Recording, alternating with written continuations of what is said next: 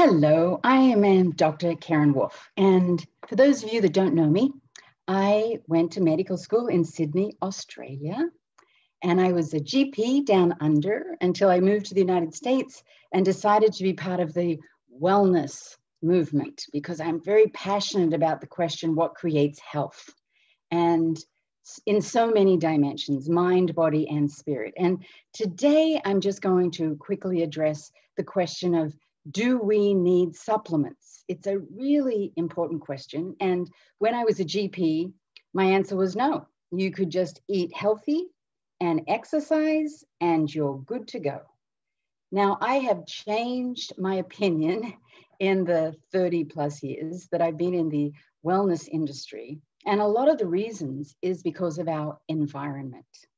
And you think of the environment, not just in the air environment, if you live in a dense city with air pollution, but everything about our environment, the food environment, the way food has been genetically modified, the way you can go into supermarkets and there's so much processed food. So anything processed that goes into our body, our cells don't know or recognize that. So it exerts a immune response to that. So the environment is also the cleaning products that we use, the or all the antiseptic agents that we use that affects our microbiome. So, so many things about our environment has led me to really believe now that we do need a high quality, supportive antioxidant and mineral to support all of our cellular processes.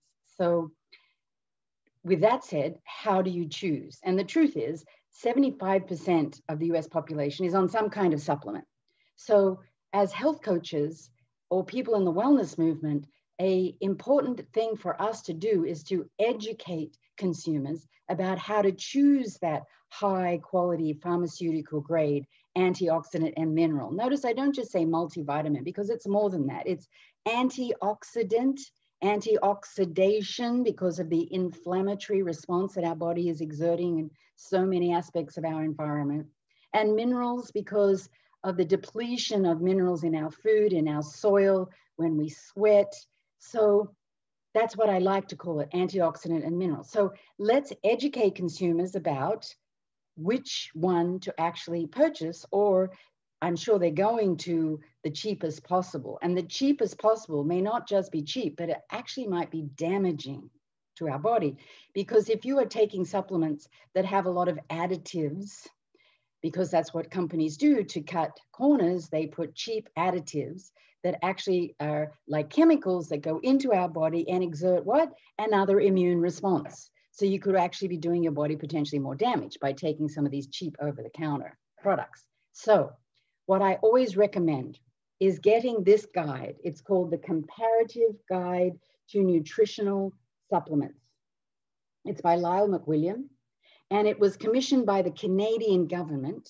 This is the sixth edition, and I always like to get the most latest edition. The Canadian government has very rigid requirements for supplements, unlike the United States. And by the way, so does Australia have rigid requirements. So one thing just to do is to have a third party endorsement of some product that they're taking. And there are many third parties endorsements. This is just one. This is commissioned by the Canadian government. No supplement company was involved in creating this standard here. And it looks at over 1,500 different companies. And this particular commission that gathered created their own blended standard to be able to compare one product against the other so that we're doing apples to apples. And I always love to educate about that blended standard because it, it's very complete. So it's the CAPPS standard. So every product in here is rated according to completeness of the product itself, potency, purity, safety, and absorbability. So the CAPPS stands for completeness, absorbability, does it actually get absorbed by the body? Potency, does it do what we want it to do? Purity, is it actually made with good, high quality raw materials? And most important of all, the S is safety. How safe is it? And then these products are rated from zero to five. And I've just highlighted here a product that a lot of people take, which is Kirkland. You just look up in alphabetical order the product that your client might be taking, and you let them know how it's rated according to this standard. Kirkland. Now, there's a lot of different Kirkland brands.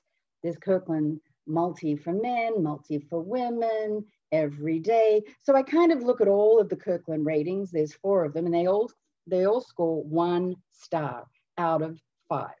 This would not be a high quality pharmaceutical grade cellular nutrition supplement.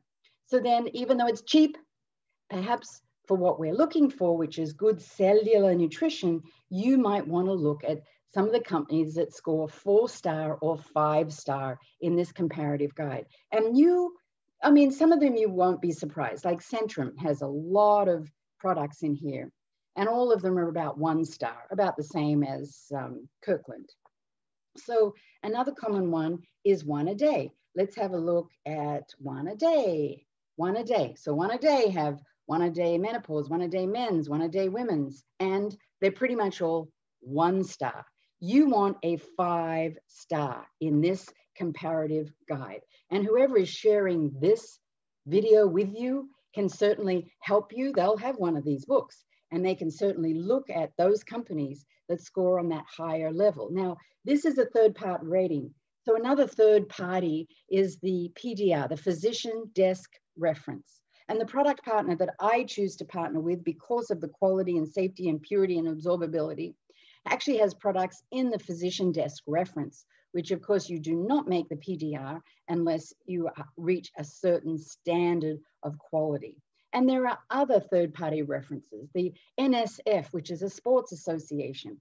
They are very particular about what supplements athletes take. So if a product is rated in as an NSF certified, you know that that's also high quality. So you don't hear about this much, like how to decide if a supplement is at that pharmaceutical grade cellular quality that we want for what we're actually wanting in that supplement which is to activate the cellular processes of our body for optimal health and longevity. So these are called third party references. Another one is consumerlab.com.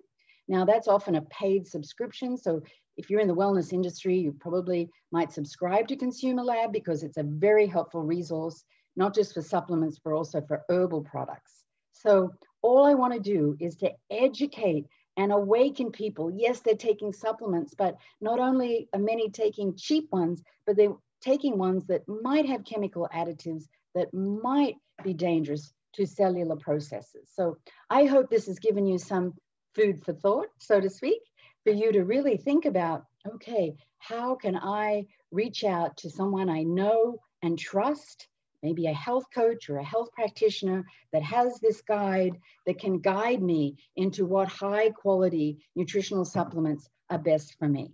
So until next time, this is Dr. Karen Wolfe sharing you with you as much health information as I can possibly share to help you with your own health and longevity. Bye for now.